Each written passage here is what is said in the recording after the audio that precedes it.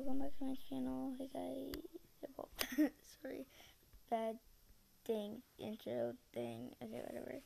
Um, um, comment on your username, I guess, and I may, I might follow you on Roblox, so yeah.